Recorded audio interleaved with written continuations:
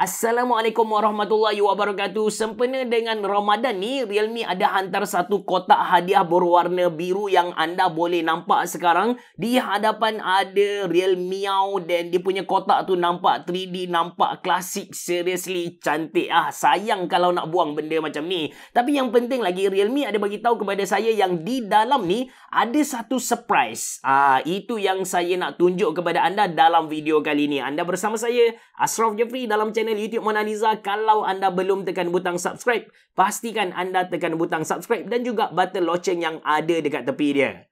Jom!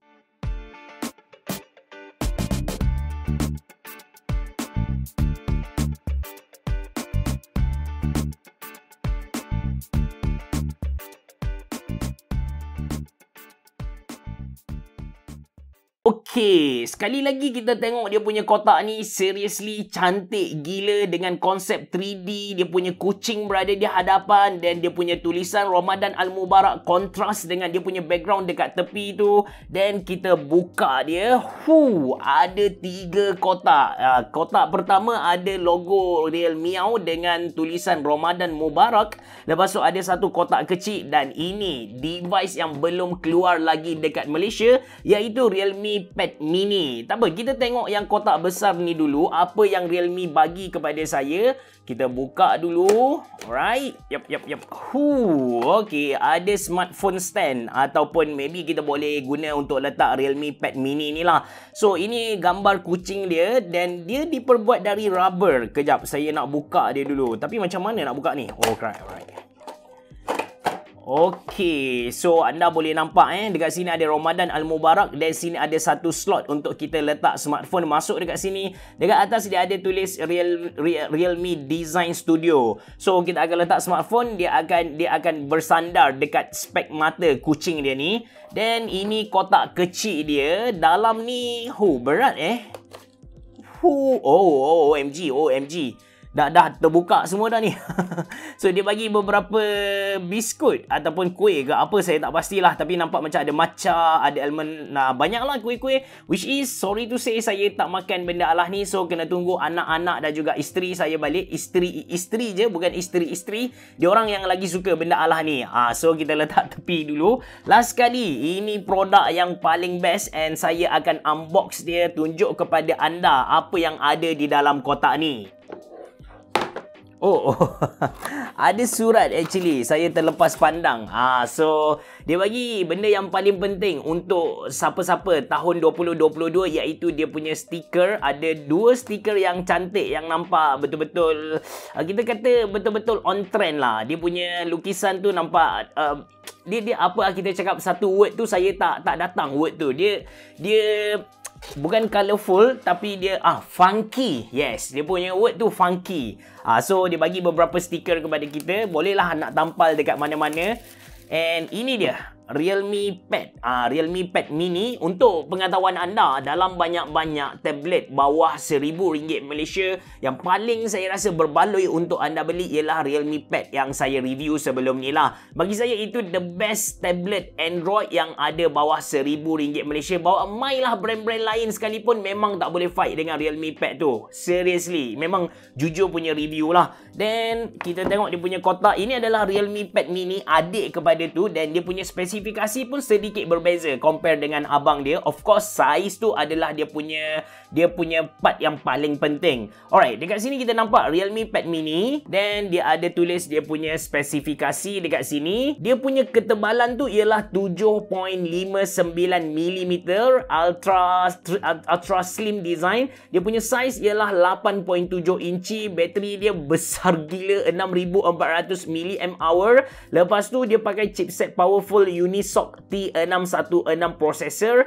Dia ada quick charge 18 watt dan dia ada dia pakai Realme UI for uh, pad lah. Dan dekat bawah ni anda boleh anda boleh nampak secara detail dia punya spesifikasi which is dia datang dengan RAM 4GB, storage 64GB dan warna yang saya dapat ni ialah warna biru. Dan dia boleh masuk dua SIM card dekat sini. Alright, jom kita tengok apa yang ada dekat dalam dia. Alright, so tablet dia kita letak tepi dulu. Then dalam kotak yang besar yang kecil ni dulu uh, kotak yang besar ni oh tak apa.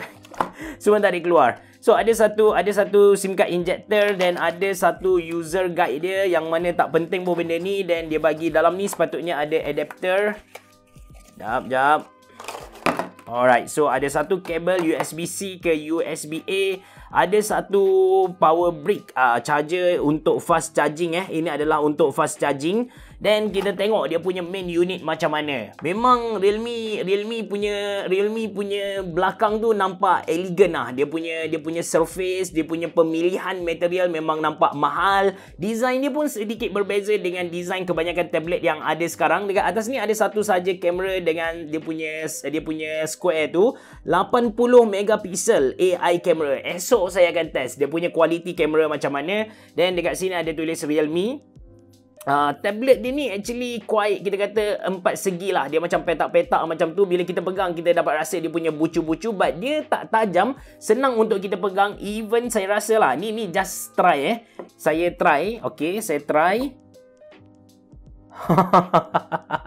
kita dah tak perlukan stand guys. Kita tak perlukan stand. Kita just letak dia atas meja but make sure meja kita punya surface tu landai, uh, lan, uh, mendata so kita boleh pakai tanpa ada dia punya stand. Ah uh, tak perlu nak letak dekat kucing ni. Ah uh, eh saya baru perasan kucing ni rupa-rupanya bentuk dia punya kuning ni ialah bentuk bentuk bun, bentuk bulan. Ha, anak bulan kan? Oh dah nak raya kita sebenarnya. Even dekat tengah kucing ni pun ada bentuk bulan lah. Ini lambang Ramadan Al-Mubarak. Tetapi kenapa dia pilih warna biru itu saya tak pasti. Okey, lepas tu kita tengok lagi dekat bahagian tepi ni ada power button dan juga volume rocker. Sedap tactile tekan dia memang best. Lepas tu di bahagian atas ada satu biji speaker dan ada satu port uh, uh, port audio dekat sini. Lepas tu ada satu SIM card slot eh, SIM card slot dekat sini. Jap saya cuba buka untuk tengok dia punya untuk tengok dia punya slot tu boleh muat berapa SIM card eh. Sepatutnya dua lah kalau ikut apa yang saya baca dekat kotak dia tadi. Alright guys. So kita boleh masukkan dua SIM card dengan satu micro SD card lah dengan dekat dia punya SIM card uh, SIM card tray ni. Ada satu USB-C dan juga dia punya mic dia punya dia punya speaker dekat sini. Jom kita uh, kita set up kejap dan kita buatlah sedikit test nak nak, nak tengok kualiti dia sekali imbas. First impression kita macam mana? 12 seconds later. Okay, saya dah siap set up untuk Realme Pad Mini ni. Cuma masa set up tadi ada satu satu benda menarik yang saya perasan. Ketika setup tu, dia tanya kita sama ada tablet ni di di dibeli untuk kanak-kanak ataupun untuk orang dewasa. So maybe dekat sini Realme cuba target Realme Pad Mini ni kepada kanak-kanak juga. Alright, kita akan buat beberapa test which is simple test sahaja. Saya tak akan buat heavy punya test macam gaming apa. Itu nanti for review nanti. Cuma kali ni kita just nak tengok dia punya smoothness, dia punya UI tu macam mana, kemudian dia punya speaker and maybe kamera pun kita boleh test sikit. Kita pergi dekat setting dulu dan kita pergi dekat about tablet ni. Kita boleh nampak dia pakai Android version 11. Lepas tu device dia memang Realme Pad Mini. Dekat sini dia tulis processor dia pakai Unisoc T616 octa-core. Device storage 64GB dan dia punya dia punya RAM 4GB dekat sini. So kita tengok dari segi smoothness memang tak ada masalah. Oh ya, yeah, dia punya display. Jom kita tengok dia punya display display berapakah dia punya uh, dia punya dia punya refresh rate. So dekat sini dia tak ada tulis apa-apa. So saya assume dia punya uh, dia punya refresh rate tu dalam 60 Hz sahajalah. Uh, nanti saya explore lagi. Kalau saya silap saya akan perbetulkan dalam full review nanti. Lepas tu so far bila saya tekan-tekan ni okay smooth tak ada masalah apa lagi. Jom kita dengar lagu kita tengok quality speaker dia macam mana. Dia ada dual speaker kiri dan juga kanan oh. Alright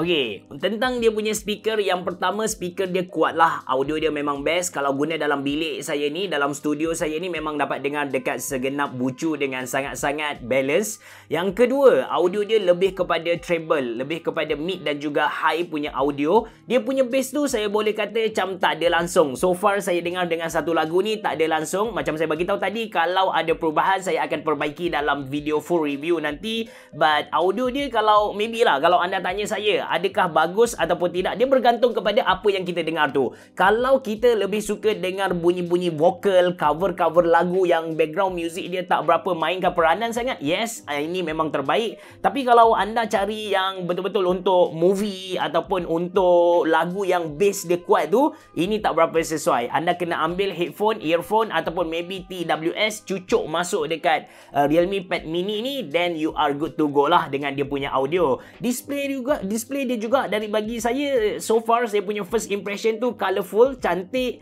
then kita nak test dia punya kamera ah ini dia punya main kamera dulu dia dia punya kamera belakang eh 12 seconds later. Okay, so ini kualiti kamera dia. Bagi saya, kualiti kamera dia nice untuk sebuah tablet. Ah, anda kena faham dekat situ, kualiti kamera dia nice untuk sebuah tablet. Kalau nak compare dengan dia punya smartphone, kualiti tu memang langit bumi lah. Tapi kalau anda sekadar macam nak ambil gambar, kemudian tambah filter, upload ke media sosial, tak ada masalah. Cun, okay? So, ini sahaja untuk video kali ni dan saya akan saya akan buat full review dalam masa terdekat. Saya tak pasti berapa harga jualan Realme Pad Mini ni, but seriously, I'm looking forward terhadap tablet dari Realme. Yang pertama dah berjaya berjaya so saya harap yang ni pun successful ikut dia punya abang lah. Itu saja dari saya. Terima kasih kerana menonton. Assalamualaikum warahmatullahi wabarakatuh. Bereboh Jumpa lagi